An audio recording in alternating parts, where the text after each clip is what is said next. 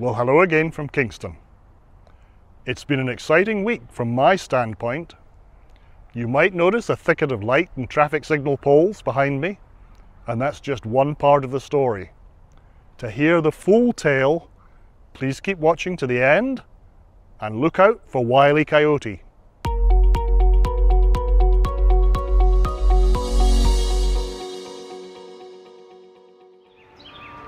We'll begin this week with the return on Wednesday, just after 9 o'clock, perhaps for the last time, of the big red trucks from Decast Limited. They delivered a total of 54 concrete deck slabs on two trucks. After careful rigging, they were quite quickly lifted onto the causeway. As you watch this lift, just bear in mind the total weight of these nine slabs is about 18 metric tons.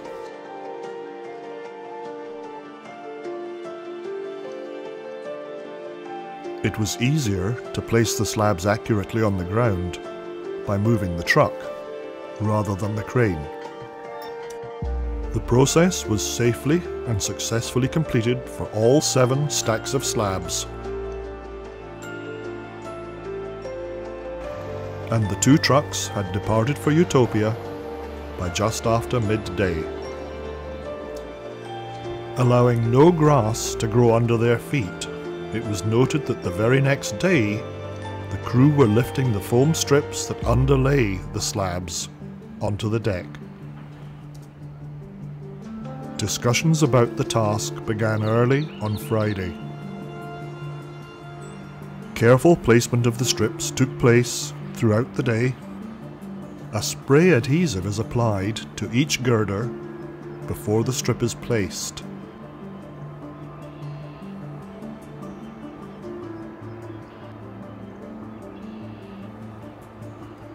So significant was the progress that looking beyond the east abutment on Friday afternoon, you could see that the first slab had been laid.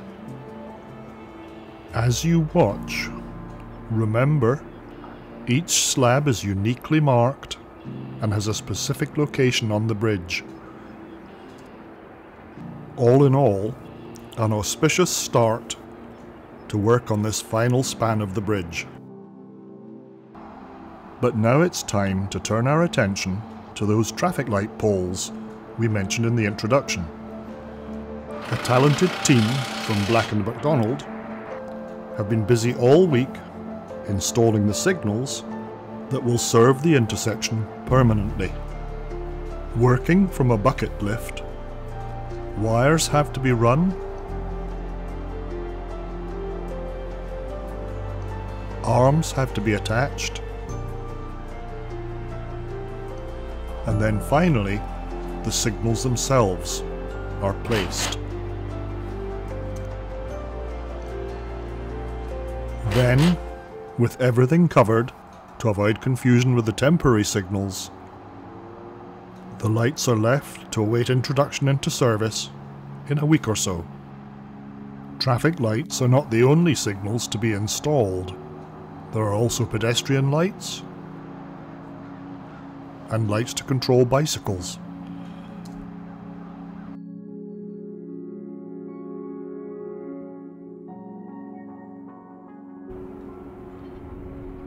We're going to turn our attention back to spans 20 and 21, where on Tuesday it was noticed that brackets to hold pipe were being installed. And sure enough, on Thursday, we saw the familiar grey drain pipe with inlets lowered onto the brackets.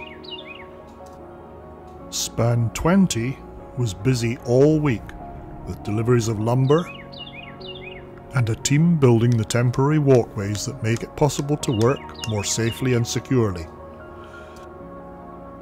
After weekend snow, the east abutment was still tarped on Monday.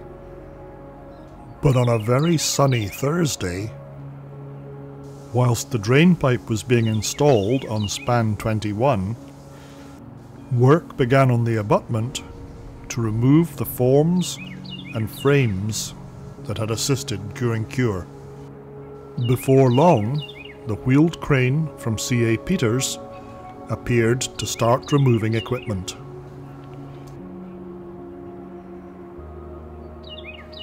This included the heaters that had performed sterling service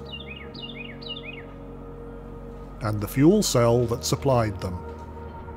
Steady progress was made, and on Friday morning, this was the situation.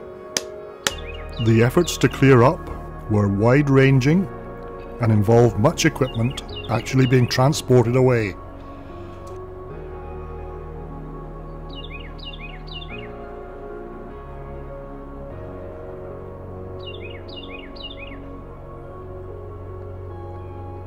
By mid afternoon, a substantial number of the inside forms had been removed. And only one or two remained in place.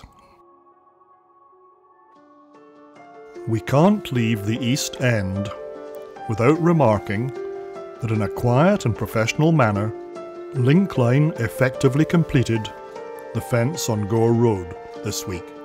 They will return to install a lower section once the roadway to the abutment is complete. On the west end, and particularly around the west abutment, there's been activity all week.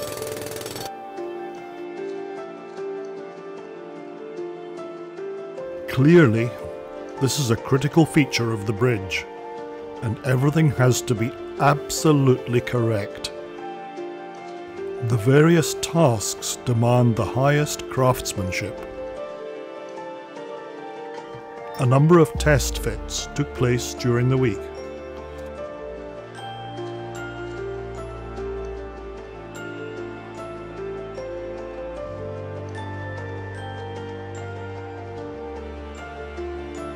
This is how things looked going into the weekend. A great deal of work this week has also taken place in the West Laydown, where preparations are being made to clear it out to allow work to begin on the connection to Montreal Street and John Counter.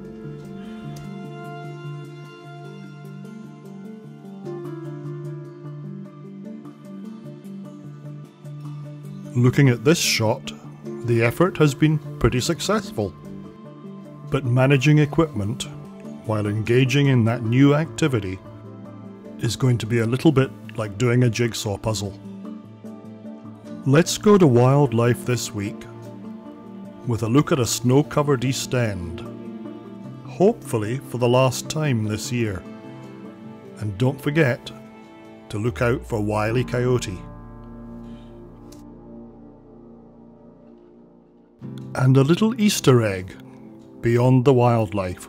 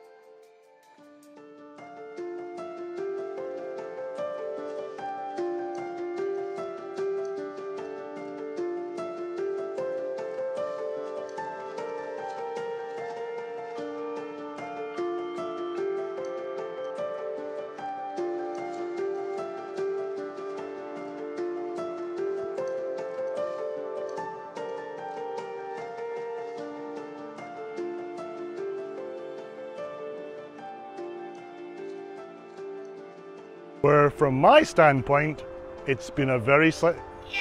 Ouch! So keep watching to hear it to. Ouch! Well, there you have it. Another week behind us.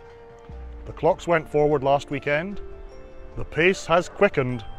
And if you want to keep up to date, please keep watching the videos and consider subscribing. Thanks again. Bye for now.